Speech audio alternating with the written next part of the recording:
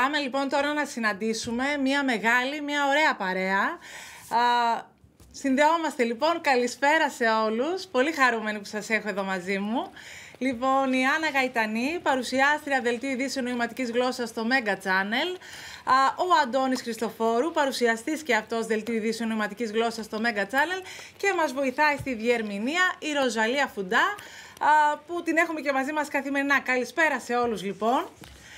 Καλησπέρα, Ματίνα. Καλησπέρα. Να είστε καλά. Λοιπόν, καλησπέρα και από μένα. Καλησπέρα. Λοιπόν, ο 104,6 My Radio κάνει ένα πρόγραμμα το οποίο φέρνει τα τραγούδια, τις μελωδίες, τις μουσικές κοντά σε ανθρώπους που έχουν κάποια προβλήματα με την ακοή τους. Ε, Άννα, να μας πεις εσύ, τι είναι ακριβώς αυτό το πρόγραμμα, σε τι αφορά; Είναι πραγματικά μεγάλη μας χαρά γιατί η ιδέα αυτή ξεκίνησε από τον διευθυντή του My Radio, τον κύριο Νικολακόπουλο.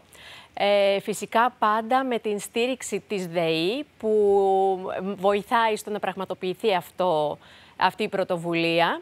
Ζητήθηκε λοιπόν ε, μία ημέρα να υπάρχει προσβασιμότητα σε όλο το πρόγραμμα του ραδιοφώνου μέσω διερμηνίας για τα κοφά και βαρύκο άτομα. Είναι πραγματικά η πρώτη φορά που γίνεται αυτό και βοηθάει και τους ακούοντες να καταλάβουν πώς ακριβώς οι κοφοί μπορούν να έρθουν σε επαφή με τη μουσική. Γίνεται μέσω της υβριδικής τηλεόρασης του Μέγκα και φυσικά παρουσιάζεται και στην ιστοσελίδα του My Radio. Ε, φυσικά έγινε η πρόταση σε εμάς, αλλά σκεφτήκαμε ότι είναι μια πολύ ωραία ευκαιρία να στήσουμε μια ομάδα γύρω από αυτό. Γιατί και οι κοφοί πραγματικά μπορούν να παρουσιάσουν τα τραγούδια με πολύ μεγάλη ευχέρεια και ταλέντο. Έτσι λοιπόν δεχτήκαμε με πάρα πολύ μεγάλη χαρά την πρόταση, η οποία έχει ξεκινήσει εδώ και αρκετούς μήνες και συνεχίζεται μέχρι και σήμερα και θα συνεχιστεί. Είναι πραγματικά κάτι που μας ενθουσιάζει και θέλουμε συνέχεια κι άλλο κι άλλο να γίνεται συνέχεια. Ελπίζουμε η δράση αυτή να συνεχιστεί μέχρι... Και το τέλος του 2024. Άννα, πάμε να σε δούμε, να σε δούμε σε δράση. Παρακαλώ, να δούμε την Άννα.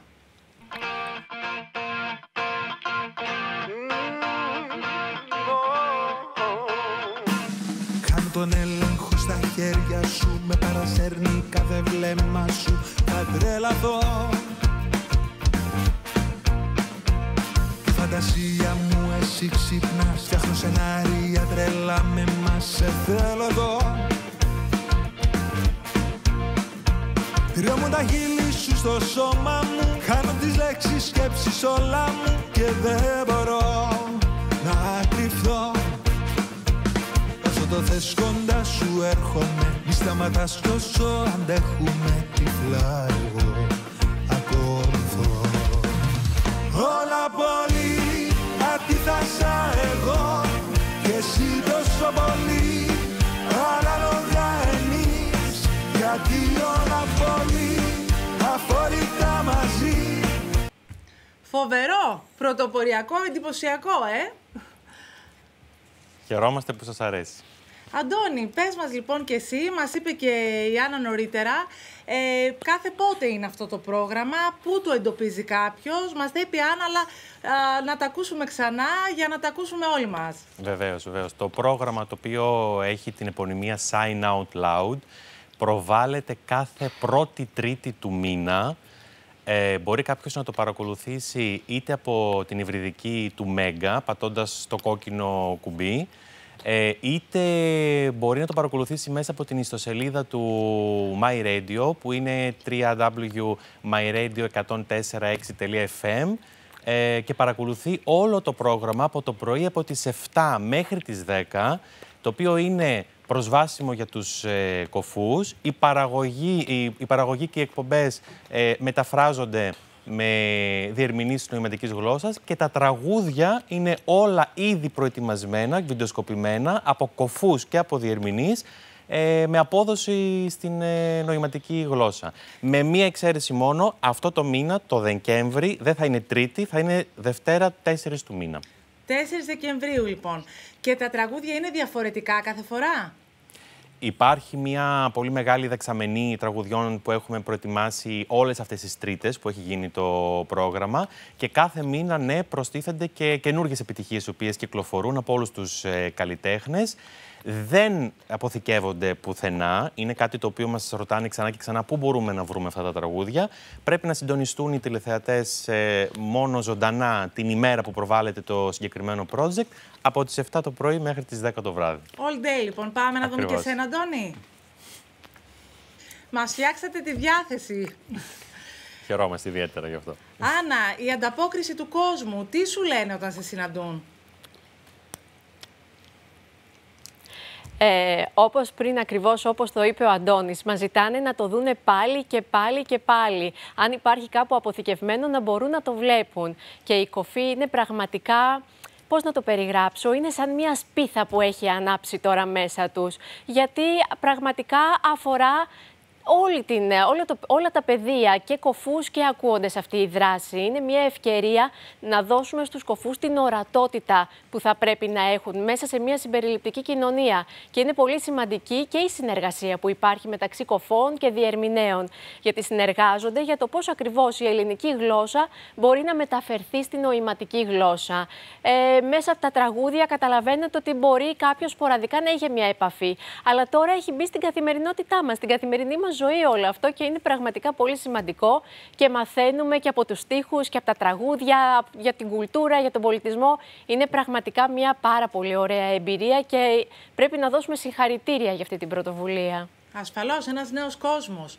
Τώρα η ελληνική κοινωνία, θέλω να μου πείτε και οι δυο σας, έχει κάνει βήματα για να αγκαλιάσει τους ανθρώπους που έχουν κάποια προβλήματα με την ακοή τους, στο χώρο της εργασίας αλλά και γενικότερα; Στο κομμάτι της πρόσβασης η αλήθεια είναι ότι γίνονται κάποια ε, βήματα σε σύγκριση με το παρελθόν. Δηλαδή βλέπουμε όλο και περισσότερα προγράμματα τα οποία ε, γίνονται με παράλληλη διερμηνία στην νοηματική γλώσσα. Βλέπουμε επίσης εκπομπές και σειρές οι οποίες υποτιτλίζονται και προφανώς είναι πρωτοβουλίες ε, προς την σωστή κατεύθυνση προς την συμπεριληπτική κατεύθυνση ε, για να περιλαμβάνονται και να περιλαμβάνεται η πρόσβαση όλων των ε, πολιτών.